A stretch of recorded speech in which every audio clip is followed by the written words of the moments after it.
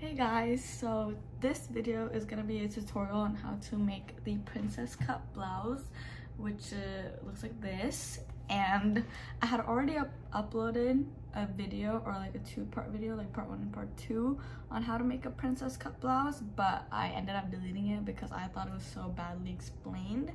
But I'm making another tutorial this video because one of you guys requested it and this one is gonna be with sleeves so princess cut, cut blouse with like I think I'm gonna do like mid-length sleeves.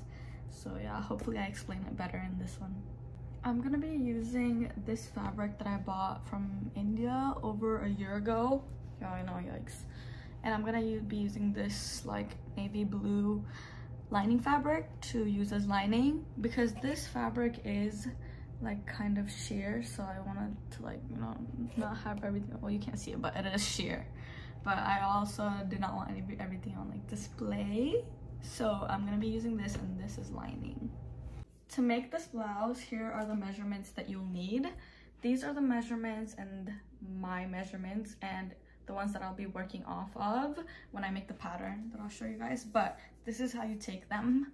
So for bust it's basically your boobs area. Um so you do the highest point here. Mine is 32 and then you have to do your waist. So basically whenever you bend wherever there's like a crease in your body that's your waist.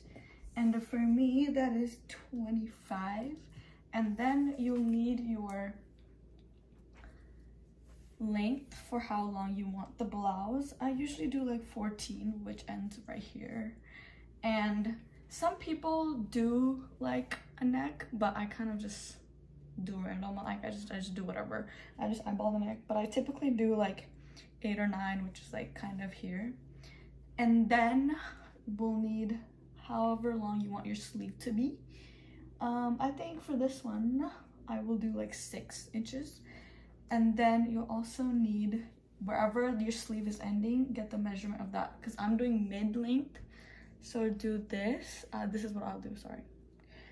Which is my oh my gosh. And mine is nine but if yours is ending like further down here or like further up here that's where you take the measurement. And then you also do like an armhole measurement but which for me which is 17 but people use there's usually like a for armhole length there is like a standard measurement that people use, especially in India, it's either like 5 or 5.5. For me, that is way too tight. So I do like 6. That's what I use. But usually what you're supposed to do is take the circumference of this and then divide it by 2. And if you divide 17 by 2, it's like, it's, it's this number. I can't do mental math, but it's that number. But I think I'll be using 6 for arm length, armhole now the voiceover starts hopefully i do good. So what you guys are gonna do is fold your lining fabric first because that's what we're gonna mark all our measurements and make the pattern on. So fold it like this make sure it's like lays down really nicely. So what we're gonna mark down first is about three inches away from the fold. We're gonna do the shoulders first. So that's how far apart the shoulders are gonna be. And then i'm marking down about 8 inches for the neckline and then just drawing a straight line and then yeah and then connect that to the fold. So that's basically our neck now. And then i'm measuring 14 inches down from top top which i should have done at the beginning but whatever that's the length of our blouse and do the same on the other side so it's even at the bottom. Here what we're doing is marking our chest which for me would be 8 inches because you divide your bust measurement by 4 and then I'm also doing my waist which is 6.25 and then I'm just combining them and I'm also adding a slack of 2 inches and combining those two lines together as well just for like if we want to make adjustments later on. And then the thickness of the blouse shoulder or whatever is going to be 3 inches so I marked that as well. And then I came down about 6 inches like I told you guys for my armhole and then I'm just connecting that all the way to those other lines as you can see. I had brought the armhole down way too low, which is why I'm just bringing them back up and just fixing that error real quick. but yeah this is what it should be looking like and then i'm just gonna connect those lines as well and then we're gonna draw like a little curve because obviously there's curves in the blouse we don't just do like square unless you want like a square neckline but i'm curving everything here this is a bit of like the confusing part. We're gonna add darts so that it fits on our chest properly i'm gonna take in three inches from the fold and then three inches high up in the middle and then just draw like a little curve to the armhole. And then we're gonna mark like 0.75 inches from that middle line and just make like this little triangle dart like that. And that's gonna be cut later on but since we took away that like one at 1.5 inches i'm just adding it back to the end of the blouse because maths. Okay i really can't explain that. And then we're just gonna take the blouse up a little because again math. I don't really know how to explain that. So that is basically it for patterning of the blouse and then you can just go ham on the cutting. But i hope so far it made sense. If it doesn't let me know in the comments please so i can just make a separate video on patterning and for the pattern for the back we're just going to use the front as like a general outline. So just mark the armhole is going to be the same so mark that. And the neckline is going to be low so we're not marking that yet but we are marking the bottom because the length is going to be the same for the front and back. So uh, the neckline for the back is going to be way lower so this is about like 10 inches i want to say. You can make this however long you want but i usually like a low back in the back then we're going to be marking our chest. For me, it is 8 inches, which I got by dividing 32 by 4 because this is folded, so that is why you divide it by 4. And then also marking the waist on the bottom, which is the same measurements as the as the front of the blouse and the back is not as complicated at all but we add like a mini dart if need be also, the reason that I use red lining for the back is because I ran out of blue. No other reason than that. But yeah, you can go ahead and cut the lining. And when you're done cutting the lining, we can also cut the middle because this is on a fold as well. So just like as you guys can see me do here, just cut the middle because the back is going to be open.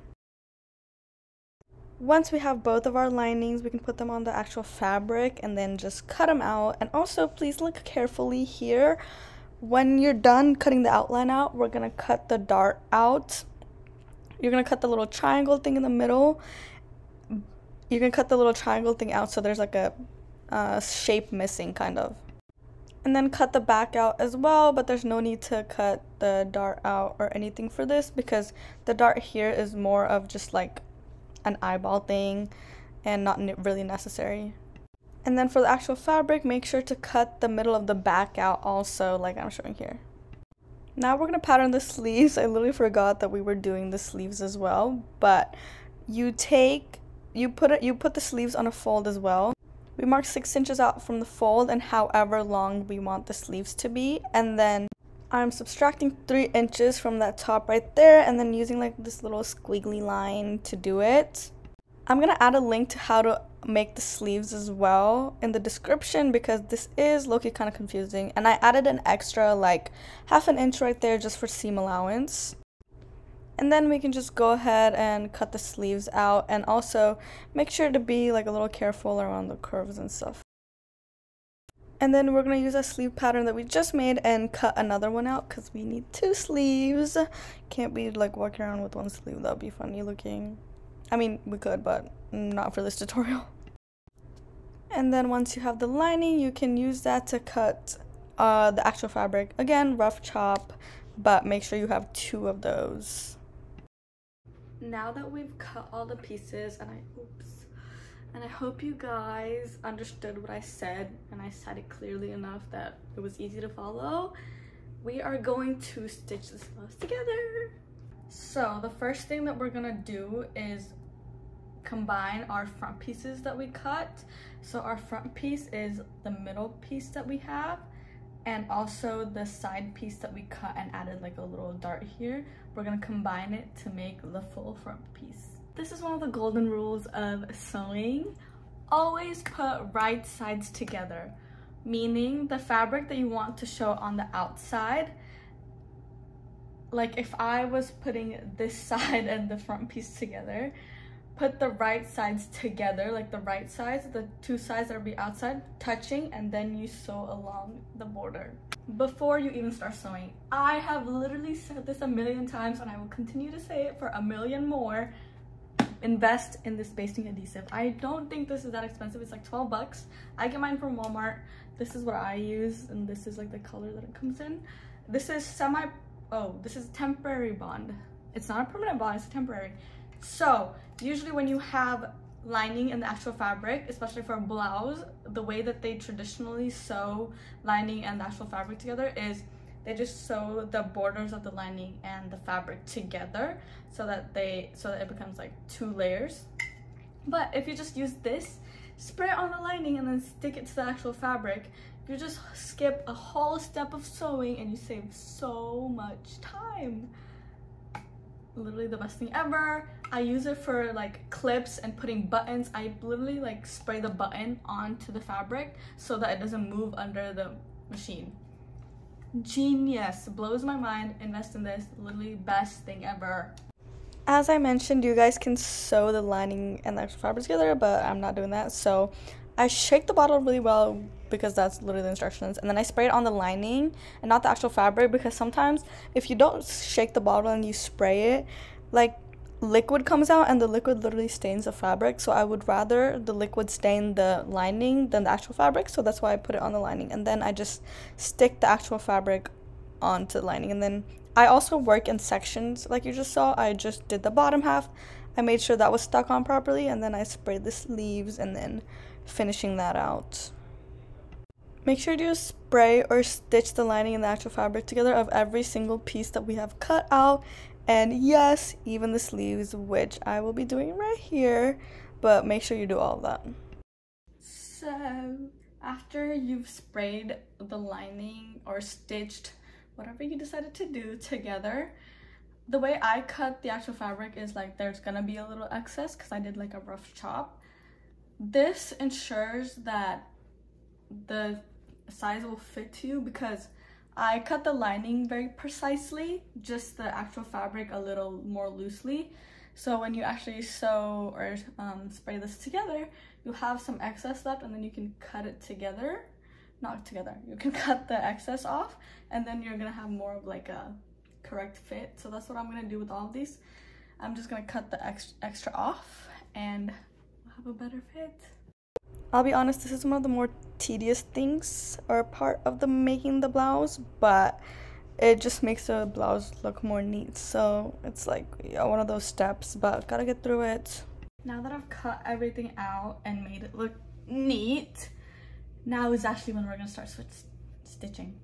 First, like I said before, we're gonna stitch the front pieces together to make the full front piece.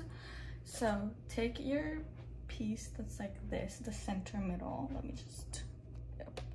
And then the sides, this one goes like this.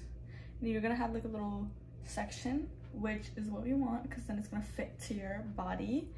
And then this other part goes like this. So what we're gonna do is, let me my pins. The pins are also an essential part of the sewing thing. I'm gonna make a I'm gonna make a video which has like all the essentials to sewing, especially for beginners, because I wish I knew about this. So I'm gonna help you guys. But for this video, what I said about being right sides together, this one goes on this side, right? So this is the outside fabric, so this is the right side.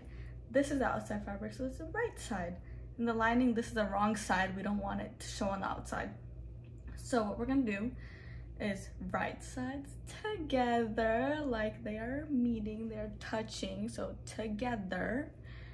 And we're just gonna start pinning it from right here. So i'm gonna take this pin i try to i like to pin sideways. So as the machine goes you can just take it out like this instead of doing like front then you're like you're struggling. I don't like that. So we just keep going and then pin all the way down.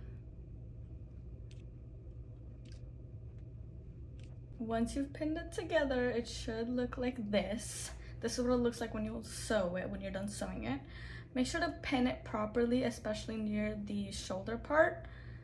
But on the bottom, if you have extra fabric left over like me, that's fine. Everyone, it'll even out in the end. but yeah, make sure you pin it properly because that's how it's gonna sew, be sewed. So we're gonna sew a straight line and then do the same to the other side as well. This is a part that you don't really want to rush because you want like a good shape, especially since this is on the front. So just try to go slow and steady. I made a little mistake, forgot to show you guys, not a major one, so, but when you, I sewed one side, okay? So this is what it looks like. This is why we made the dart, because look how neatly it fits to my body without like poking out anywhere. So when we created a dart right here, this comes down because we lose fabric here. So I had marked out like a little line like this so that it can even out. So that's basically what all we're doing. We're just gonna cut it a little like at a, a straight line so the fabric doesn't come down. We want it to go straight. So do the same with this side, Ooh, this side as well. After you sew it, just make sure, just cut everything like a straight line. I've sewed both sides together and look how good it fits. So basically, you see how this comes down, like comes down? Just make all of this into a straight line and even this excess part. I just want to give you guys an explanation why we have this excess. Essentially, when you're sewing this part, right, ideally you want to pull a little bit on the curve so that this will match this because mathematically it's not wrong. We are just supposed to pull a little when you're stitching. I sometimes forget to do that like this time. It's not that big of a deal. It's just that your blouse will just be a little bit shorter obviously it looks more neat if you stitch this while pulling a little bit so that the fabric matches but it's fine if you don't i have not had like any problem just because i didn't sew with a little bit of tension so all you want to do right now is just cut a straight line and make the bottom straight to make sure that you cut like a perfect straight line fold it and then cut the straight line i'm just cutting the excess of the middle right here but yeah have it use like a guide or something and then just cut it straight down the middle. See now it looks so much neater and it looks straight. Now that we have the front piece, what we're gonna do is we're gonna take our two back pieces. This lower part is the back center and this is the armhole. These should be this, so this is what the back will look like. So again, remembering right sides together, what we're gonna do is this is near the armhole so it goes on this side. This side, right side, right side together and make sure the armholes match, okay? And then this again, this is the armhole and right side goes on right side and the armholes also match. So what you're gonna do is pin on the top and we're just gonna make a stitch on the shoulder right here and right here. So you just stitch those together.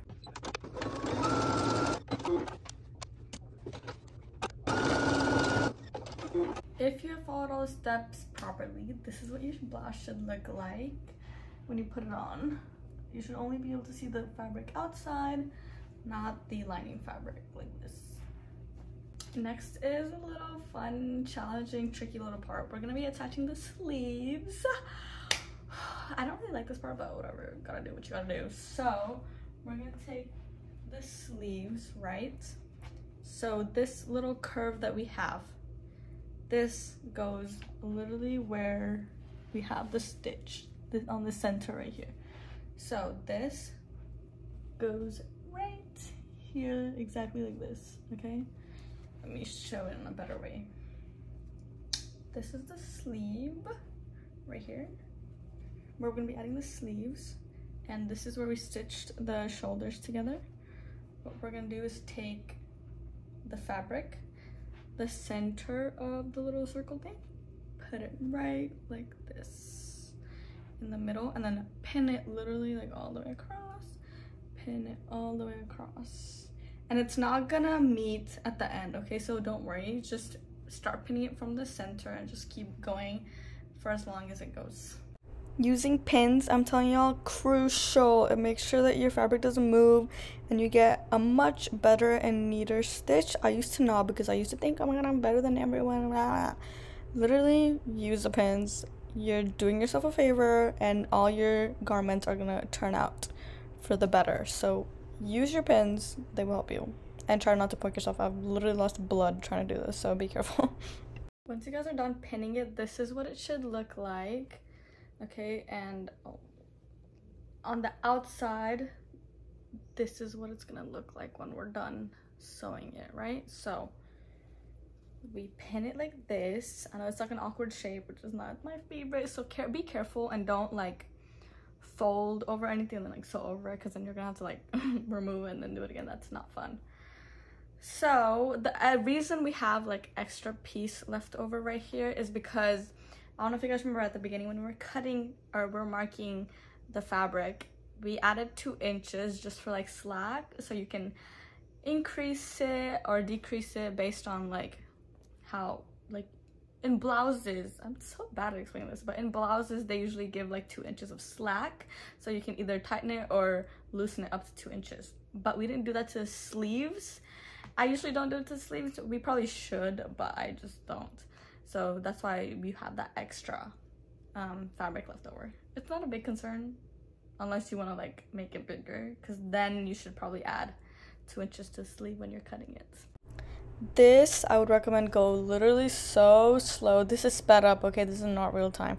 But go slow because it's on curves and the fabric under it literally might fold over. This has happened to me so many times, especially with sleeves, that the fabric under it like folds over and no, like you don't want that to happen. But so yeah, just be careful. Sewed one side and this is what's wait, this is backwards. Oops. This is what it should look like the front, the sleeves, and then when we combine the sleeves, this is what it's gonna look like. Again, be so careful when you're sewing this because I'm telling you, it's literally not fun having to remove it and redo it. Literally waste of like thread, time, energy, and everything. So just be careful, get it right on the first try, and then you won't have anything to worry about. Sewed about the sleeves, and this is what they look like. This was the second hardest part I lied. Okay, there's one more hard part, which is called piping. We're gonna add piping all around the neckline, the like right here, the neckline, and then we're gonna add it to the end of the, actually, the sleeves is optional if you wanna do it, or sometimes the sleeves you can just fold it inwards and just make a hem. Um, I think that's what I'll do for the sleeves. I'm gonna add, I'm just gonna do hem for those. But on the neckline, we're gonna add line piping and mm, and yeah that's about it. We have nothing we're gonna have we're just add piping to the lining and then combine everything together. And we're almost done. You guys you're almost done with your first blouse. So the piping is made out of lining fabric and we cut it diagonally because when you cut it diagonally you get more stretch in the fabric and you're able to pull it a lot more especially since neckline has a lot of curves. You can pull it and just like adjust as you go and since for the piping we cut in like so many pieces, we make sure to attach those pieces together and follow the, again, like right sides, wrong sides rule because we're going to put the right side of the piping to the right side of the fabric so that you can't see the stitching and it looks more professional like you see me do in the video. I hope this is easy to follow. Yeah, but do what I'm doing here. I'm gonna make a separate video on how to cut the piping, why we cut it the way we do, and how to cut it properly and how to put it on the blouse properly but for now just like this long piece of piping that we have this is really long probably not gonna use all of it maybe like three fourths but just like these fabrics have a right and a wrong side so does the piping. So the pipe the right side of the piping is the one where you can't see the stitching. This is a pretty side. So what we're gonna do is the lining, not lining, I'm sorry I keep saying line, piping, the piping. We're gonna do it on the neckline, which is basically not, the, it's literally like here, goes all the way down here, and then this, like this, literally goes all the way. Basically, I'll put it on and show you guys. I'm like sweating doing this, gosh but so basically we're adding the piping all the way from here to here to this edge to here hope to here to here and all the way down there that's where we're adding the piping. So how we're gonna add it, right side. This is, we're gonna start from the back because that's the open area, right? We're gonna take the piping, put the right sides together. Make sure the stitching is facing you.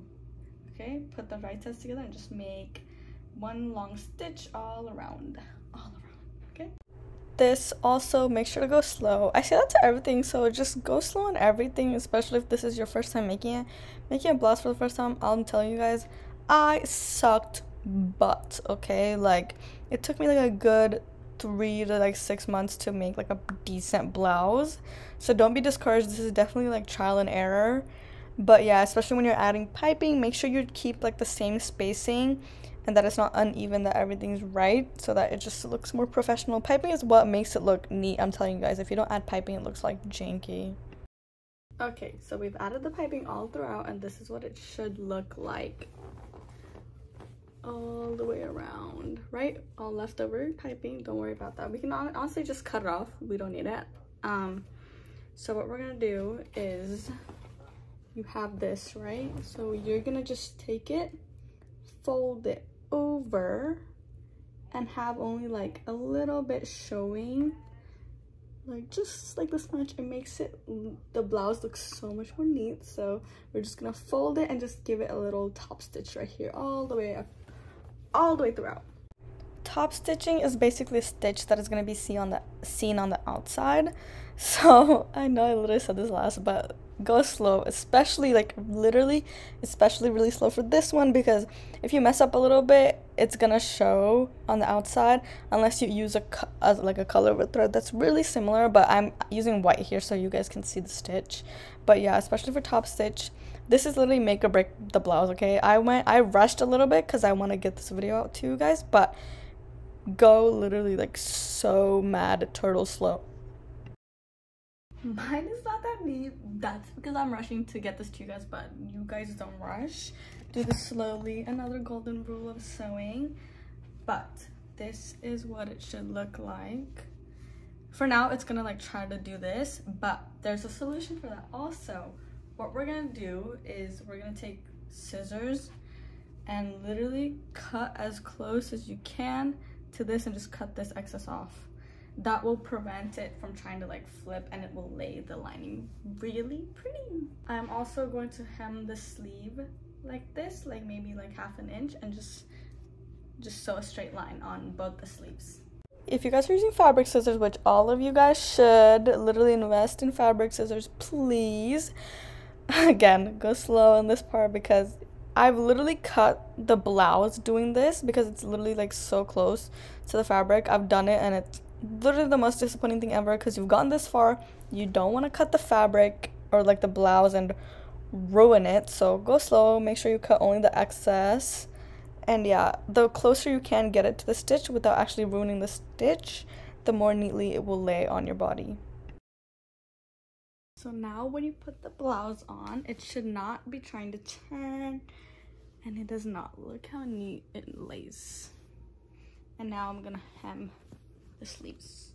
I decided to hem the sleeves because I didn't have enough time to do piping, but adding piping definitely makes the blouse look more cohesive. But even if you want to hem it, it's literally fine.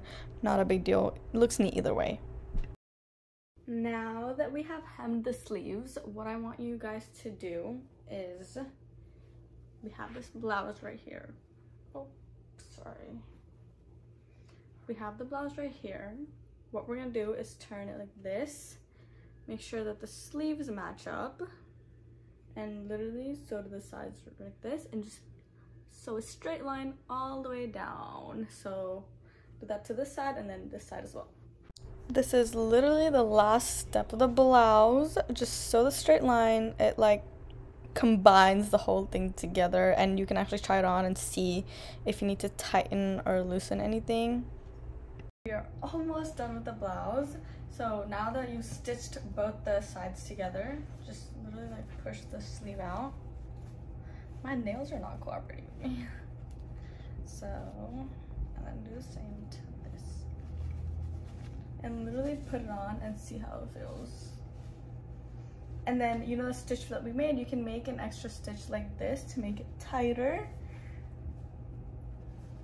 So the stitch that we've made like from here to here the straight line it's just like a little bar ballpark stitch to see if everything fits good. Like this as you can see my sleeves are a bit loose so I can I'm just gonna tighten that. And here also like hold it like this in the back and see if everything's good. For me everything is good on the bottom. No need to change anything but sleeves are a bit loose so I'm gonna do that. And also on the bottom your back is gonna be a little bit longer than the front. Just line it up and cut make them even just cut them up. I'm gonna go ahead and hem the bottom as well. Just fold it in like this and just make a stitch so that everything is all pretty and neat and professional same as how we hemmed the sleeves. You can hem the bottom but you can also add piping to the bottom if you wanted. Again makes everything just look more cohesive but mine because of like a time constraint i just decided to hem the bottom. Uh, we are basically done with the blouse so all that you really have left to do is here adding like the hooks or buttons or whatever you want to use i don't want to waste buttons and hooks because this was just like an example blouse but there are tons of videos on YouTube. I'm gonna link some on how to add hooks, clip, not maybe not clips, but hooks and buttons in the description. And I'm also gonna put some other videos that I used to learn how to like make this blouse because I feel like I'm not the best at explaining stuff. I will get better, I promise, but this was just like a rushed version of how to make this princess cut blouse, but I definitely will make another one which is more detailed, like step by step, and like the patterning, cutting, stitching is gonna be like a totally like they're they're gonna be three separate videos, so it's just gonna be like a little series. But for now, this is what we made, and I'll I'll put it on. I'll show you guys. This is what it looks like. It's so cute. I did not expect it to be this cute, but this is what the back looks like. And then like that. So you guys can also add, hold on, you guys can also add like a string that blouses normally have so it does like fall off like this. But this is what it looks like. I'm gonna give you guys like a little close up and stuff. This is what it looks like. This is what yours should also look like. The back.